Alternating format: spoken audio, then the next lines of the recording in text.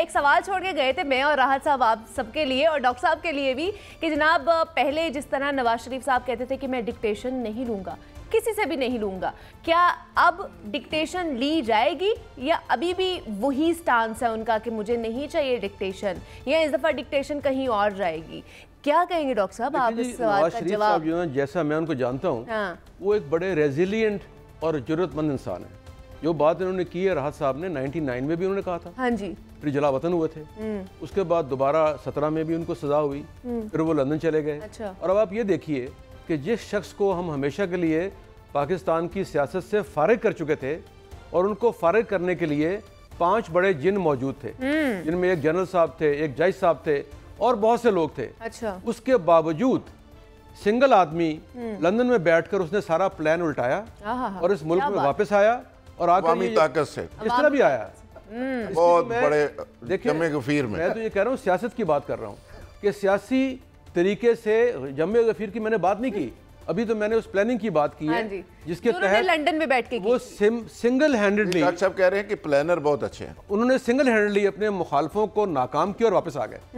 उनकी ख्वाहिशात के बरक्स। अच्छा। और वापस आने के बाद में आएँगे? देखिए इकदार में वो आएँगे। अच्छा। देखिए पहली बात ये है जब वो वापस आए तो इकदार में भी आएँगे। अच्छा। जो मेरे दोस्त अभी बात कर रहे थे वो यकीन इनकी ख्वाहिश तो हो सकती है। Nawaz Sharif the prime minister Nawaz Sharif जब वापस आया तो वो होगा। किसी और को बनाने के लिए नहीं आया।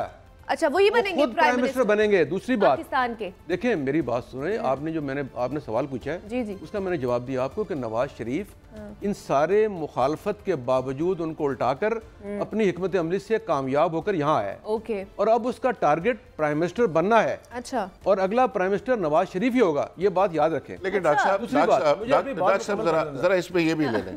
कि अगला जो इकतदार हम देख रहे हैं। उसके अंदर तो उस तरह के इख्तियारात हमें नज़र ही नहीं आ रहे। नहीं आ रहे। देखिए अच्छा उसकी वजह आप देखें। क्या मियाँ साहब इस पे कॉम्प्रोमाइज पहली बात तो ये है कि मियाँ साहब ने ये थर्ड टाइम अपने सियासी सफ़र का फिर आगाज़ करेंगे। आगाज़ करना है हाँ। पहली बात तो ये कि जो रिवायत इमरान साहब खान साहब की हुकूमत में या उसके बाद डेढ़ साल की हुकूमत में या केयर टेकर में रही है आप बहुत पीछे चले गए हैं।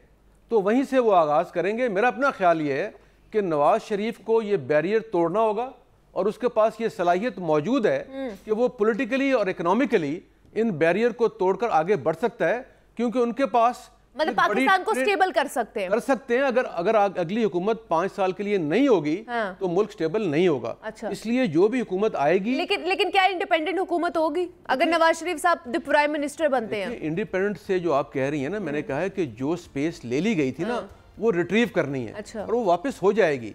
देखिए अगर ये बात ना होती तो नवाज़ शरीफ वापस ना आते। जिनको सजा दे दी गई थी जिनको फारिग कर दिया गया था जिनको दफन कर दिया गया था वो ज़िंदा होकर वापस आए हैं और मैदान में हैं।